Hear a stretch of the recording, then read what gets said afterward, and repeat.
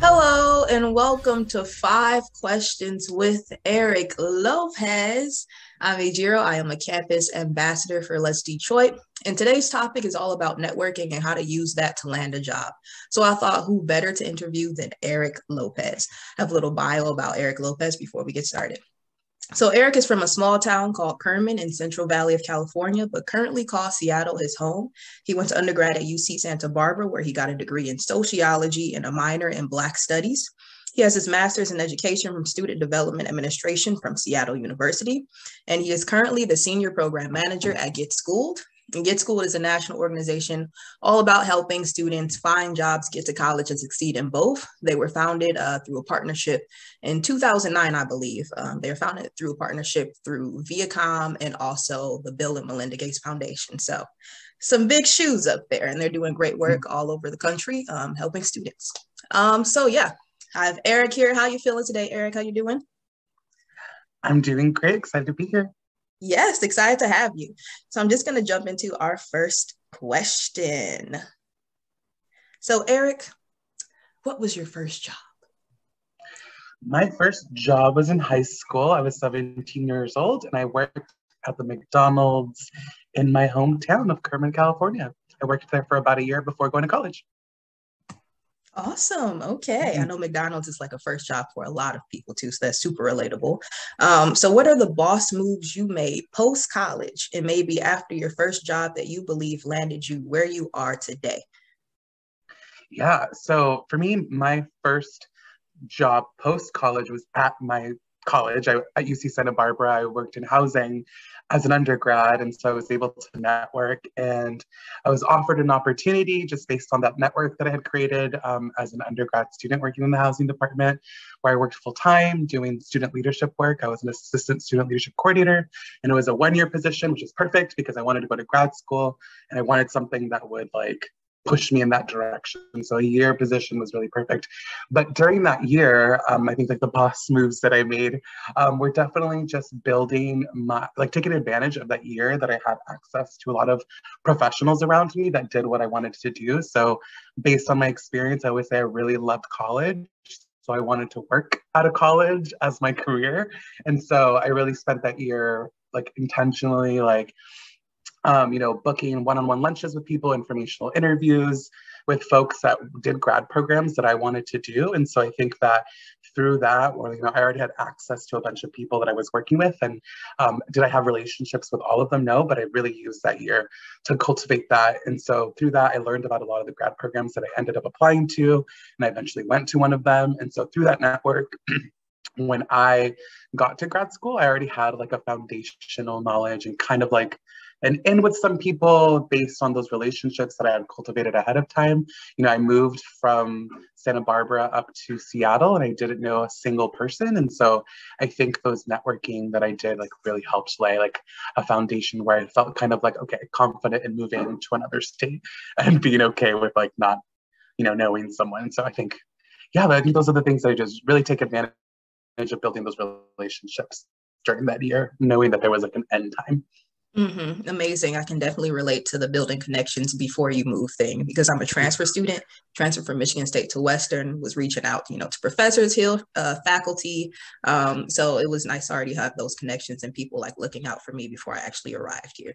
Um, so yeah, going into our next question, what advice do you have for students building their network? Maybe first gen or students who feel like they're starting from scratch? Yeah, so I think that um, when when people first think of like the word network or building a network, it becomes really, really overwhelming because you're like, I have to go to a networking event and I have to go and like talk to a bunch of people at the career center, you know, talk to faculty and administrators. And while that is building a network, I think that it, I think dissecting it down a little bit is really, really helpful. So like, you know, a first year student in college, like your network is already like your RA, right? Like your resident assistant in college, like that is part of your network. And so building a relationship, you know, with them and then having them connect you with someone, you know, like, hey, I'm really interested in majoring in this field. Do you know anyone? Do you have any friends or anyone that I could talk to to learn a little bit more about that major? And so I think like really breaking it down um, and thinking about networking differently. Um, thinking about the things that you have access to, right? Every first year student in college has an orientation advisor, you have an academic advisor, you know, that's a built-in relationship already that you can really leverage. And so you're you know, you might be required to do academic advising sessions. And so using that opportunity in that academic advising session with being, again, being really intentional and communicating with them, like, this is what I want to do post-college, right? Um, especially if you're enrolled as a first generation student in like a educational opportunity program or TRIO or something, like those people want to help you and that's their job to help you. And so really take advantage of that, let them know what you want to do and with that, like you already have an entry point that can connect you with other people. And so I think that, like I said, networking sometimes seems really overwhelming, but when you break it down, like who do I have access to already through the things that I have like as a student and how can I leverage that to like make it work for me? And I think it's a more organic way instead of like thinking like I have to go to this big networking event. Yeah, that's so true. Um, and another thing that a lot of people encounter um, is imposter syndrome. I don't know if you've encountered it. I encountered it when I had my first job and took a gap year.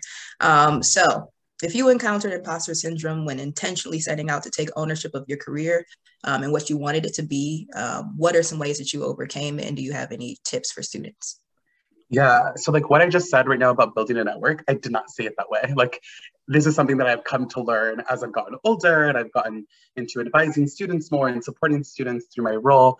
Um, I definitely encountered imposter syndrome. I think that there's like, um, you know, I'm a first generation student. I was raised by a single mom, low income households. Like I didn't have access to, you know, these like professional networks. And so for me, um, I also, I think there's a layer of, um, I was kind of like taught to just accept any job, keep your head down, do your job, you know, that type of thing. And coming from a culture where like you really are like socialized not to talk about yourself or, you know, that's like that really values humility, it becomes really challenging to kind of like think about that when you're um, networking and dealing with imposter syndrome. And so I think that's going back to what I said in my previous or your previous question is just like you already have like a built-in network as like a student, as an employee that you have access to, whether it's like your immediate supervisor, academic advisor, RA, whatever it may be.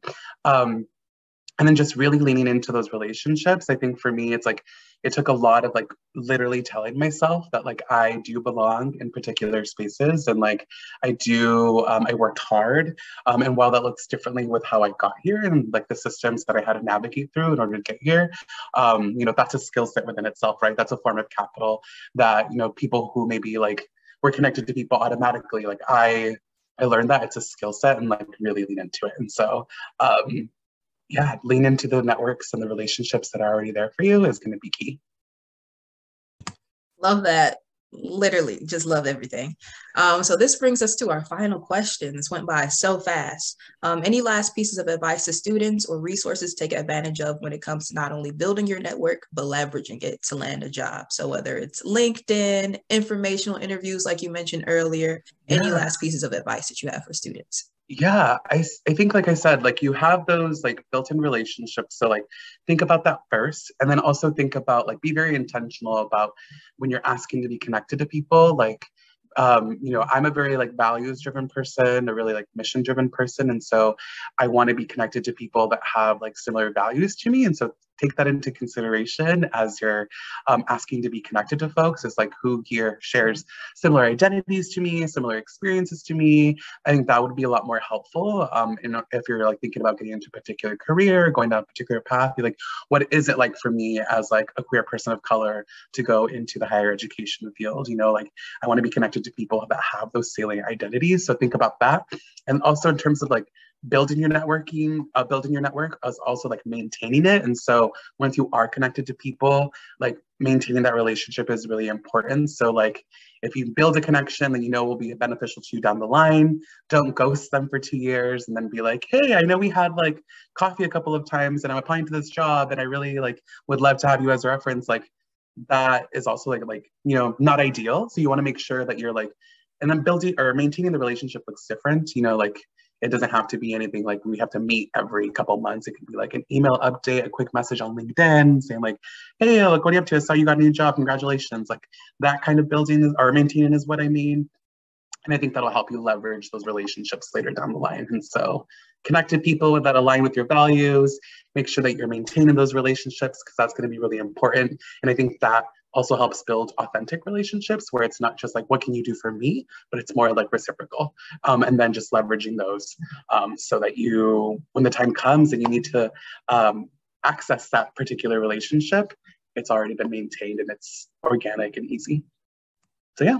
Love it. So connect, maintain, and leverage, or build, maintain, leverage, CML or BML if you need an acronym. So this has been our time with Eric Lopez. I know you want more because I want more. To find out more about the great work that Get Schooled is doing, visit their website, getschooled.com, and also letsdetroit.com. We're always here for you. Thanks so much, Eric, for your time today. I'll see you next time. I'm Ejiro, and this has been Eric Lopez. Thank you.